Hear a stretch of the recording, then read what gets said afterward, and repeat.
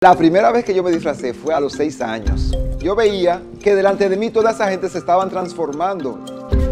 De repente, a mí me dijeron, ven, que te vamos a pintar. Y cogieron una paila y con el hollín me pintaron el cuerpo. Y así me disfrazaron sin yo darme cuenta. Y así comenzó todo.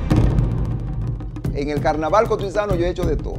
Pero el primer disfraz que yo hice de manera individual, recuerdo que fue en el año 1988. Me fui para el malecón con un grupo de muchachos de allá del barrio y yo noté cuando nosotros llegamos al malecón, como que vinieron mucha gente a fotografiarme y esa cosa. Y yo, bueno, me, paraba, pero seguía bailando porque era, eso, fuimos a divertirnos. Cuatro días después salió en el periódico una foto mía, grandota, y veo que dije, Juan Francisco Vázquez, mejor máscara individual. Digo, ¿cómo? Pero por hacer lo que a uno le gusta, a uno lo premia pues Machete y Gilles nos fuimos con este entonces.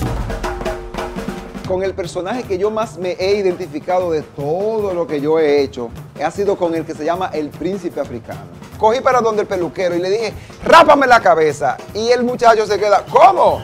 Cogí pintura negra. Y cuando yo me puse ese disfraz, yo me sentía inmenso, pero como, oh, oh algo extraordinario, como que yo vine de, otro mundo, así.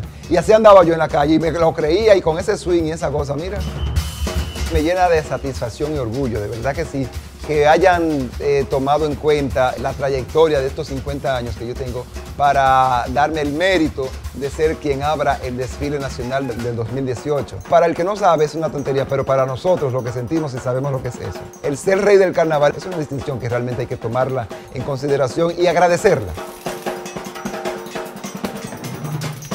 El único motivo que a mí me mueve para yo disfrazarme es porque me gusta. Y cuando hago un personaje me meto en él y se acabó. Y lo gozo muchísimo hasta el final.